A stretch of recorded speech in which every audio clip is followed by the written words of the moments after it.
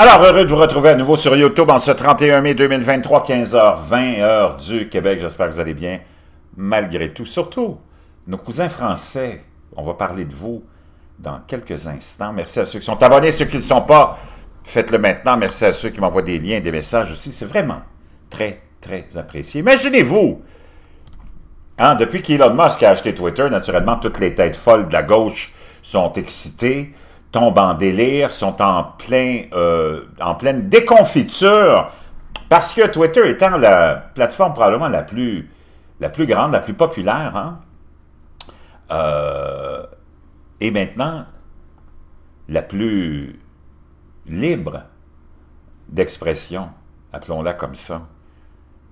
Eh bien, imaginez-vous que Politico, un site de gauchistoïde aux États-Unis nous rapporte les propos du ministre français du numérique, Jean-Noël Barrot. Regardez d'abord la tronche de... Comme dirait l'autre, de cet enfoiré qui lance une menace à Twitter, naturellement, parce qu'on n'aime plus Twitter depuis que Elon Musk l'a acheté, et a dit qu'il réinstaurerait la liberté d'expression et le droit de parole et le droit de t'exprimer si tu penses pas comme les gauchistoïdes qui contrôlent toutes les plateformes et tous les réseaux sociaux, en passant par YouTube, Facebook, Instagram, TikTok et naturellement Twitter et toutes les autres, et j'en passe, et j'en passe, et j'en passe. Le ministre France, qui aurait pensé ça un jour? Hein, la France, liberté, égalité, choucroute. qui aurait pensé qu'un jour, hein, ben, c'est ça. L'Europe, c'est ça l'Europe des Européens gauchistoïdes, l'Europe de la Commission européenne, de l'Union européenne, qui a été pensée euh, dans les années 50, là, déjà. Hein, on voulait instaurer ça.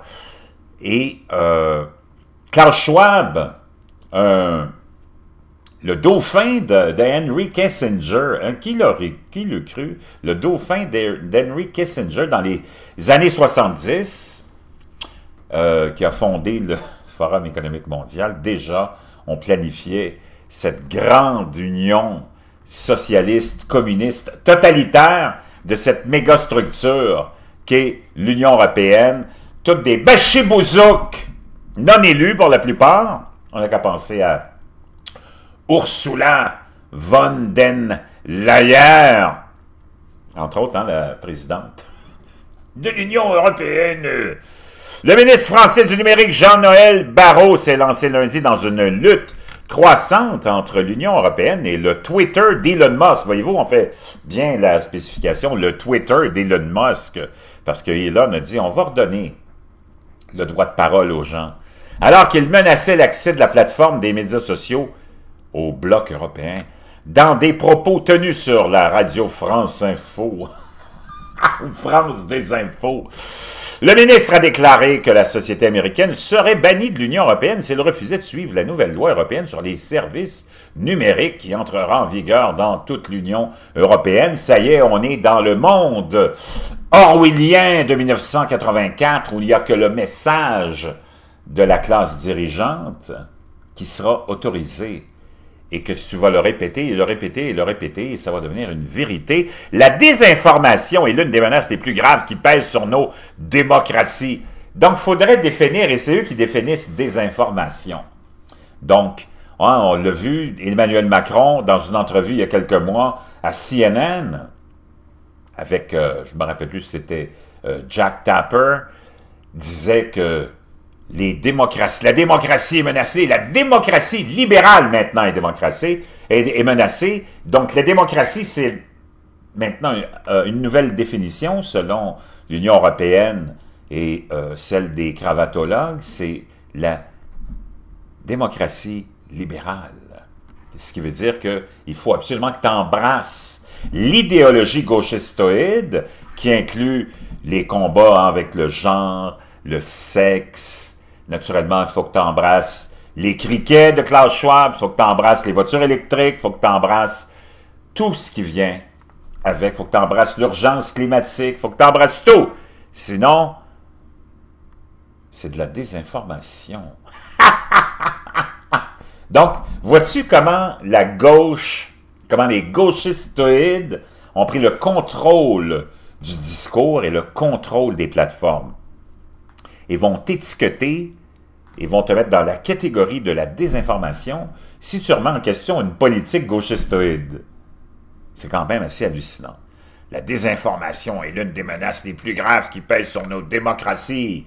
Oh là là! Ces remarques marquent une escalade d'une lutte en cours entre les politiciens européens et Twitter, qui a été racheté l'année dernière par Elon Musk, hein, le milliardaire controversé qui contrôle également Tesla et SpaceX. La semaine dernière, Politico a annoncé que la plateforme des médias sociaux se retirait du Code de pratique volontaire de désinformation de l'Union européenne.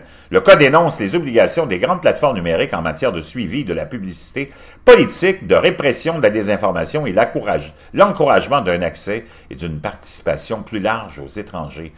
D'autres grandes plateformes des médias sociaux se sont engagées à soutenir le règlement qui vise à anticiper certaines des mesures qui deviendront obligatoires en vertu de la nouvelle loi sur les services numériques le règlement prévoit des amendes pouvant aller jusqu'à 6% du chiffre d'affaires annuel d'une entreprise. Wow!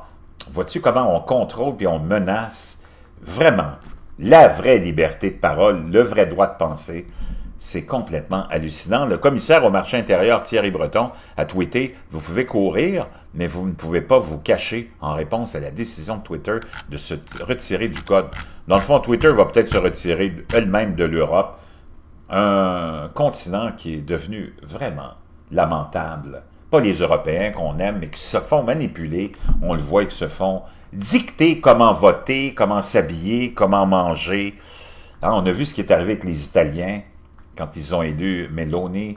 On avait menacé les Italiens comme on a menacé les Hongrois, comme on menace tous ceux qui ne pensent pas comme, naturellement, la classe dirigeante de cette Union européenne socialo-communiste totalitaire.